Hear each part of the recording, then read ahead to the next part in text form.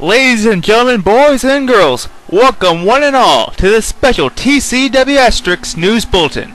This is Racky Joe the Afro Bandito with news regarding our season 4 finale, Ichiban Requiem. Now you may know that we have a pretty stacked card at the moment with three high potential main events.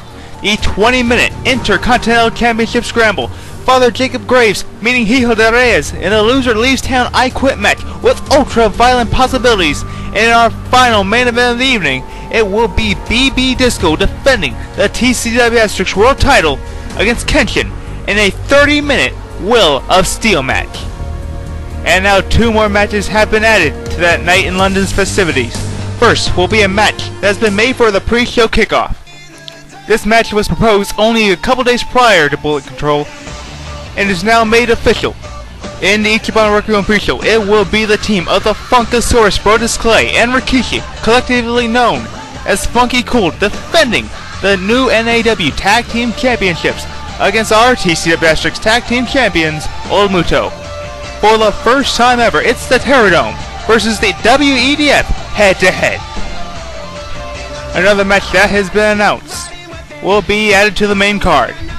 Now, if you have not seen the main event of Asterisk 39 Bullet Control, Hijo Reyes ran down to ringside and attacked Father Jacob Graves in the middle of our no holds barred tag team match, as he was teaming with Nappa against Kenshin and BB Disco. The two men brawled to the backstage area, where Graves would ultimately ram Del Reyes' head straight into the circuit breaker of the Verizon Center, momentarily taking out the power of the building and taking out our live feed. Thankfully, Hijo de Reyes is okay. He will be ready to compete for his I Quit match with Graves at Ichiban, and the violent action occurred just after our main event concluded. What we did not know at the time was that another brawl was occurring while the main event was still in progress. Two members of the following, the Fire Pro champion Clyde Silva and Calavera had a violent falling out, which was broken up by several road agents that were in the building. To find out why we, this happened, we were able to catch up with the Fire Pro champ just before he left the arena.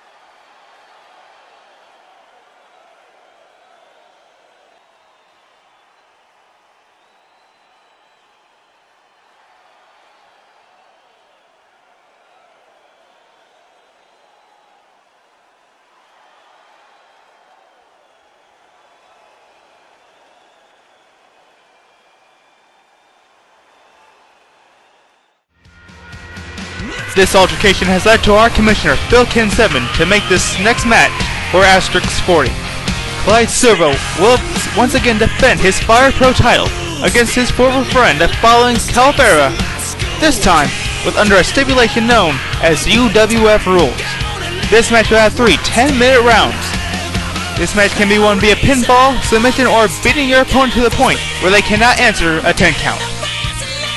Only time will tell how these events will transpire in Wembley Stadium. Each Ichiban Requiem will take place live on the 29th of July right here on youtube.com slash powercat316. Until then, this is Afro, and I'll see you in London.